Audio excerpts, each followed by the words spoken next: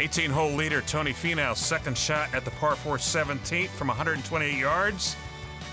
Oh, he poses, and there's good reason. He'll hit it to two feet. He will make that birdie. He'll go on to shoot three under par 69, head into the weekend, a co leader. Rory McIlroy at the 14th hole for birdie. A big slider from left to right. And McIlroy buries that one. Trying to get a little excited. Phil Mickelson trying to roll this one in at the second hole. He does that. Phil Mickelson will shoot a 74, but Phil will play the weekend at plus two. Now, second shot at the par 5 fifth for Rory McIlroy. 260 yards out, and this one is right on line. Rolls out to about eight feet. He would make the eagle. He would move to 200. He would finish at 200. Now at the seventh. Third for Tiger Woods, needing to make a birdie and money for Tiger Woods. Knocks it up there. He'll knock it in. He will finish after making this putt here at the eighth. Another birdie. Back to back birdies for Tiger Woods. Now Danny Willett trying to get in the mix. This at the par 4 13th. He will bury that one. Danny Willett will head into the weekend at four under par.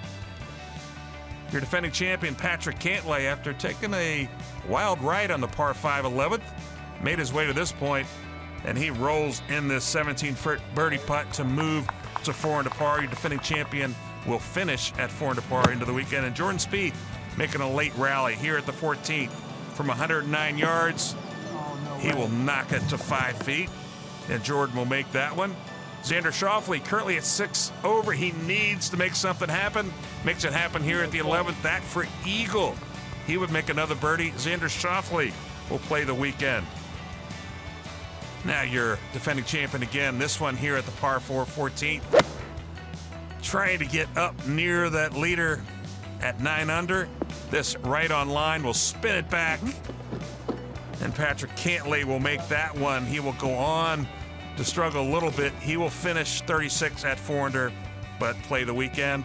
Jordan Spieth still on a roll. This is a beautiful shot from 177 yards here at the par 4 17th. Jordan Spieth trying to get a little closer to the lead. Well, he's close to the flagstick. He will make that one. Jordan Spieth will head into the weekend at four under par, five shots out of the lead. And how about Justin Thomas?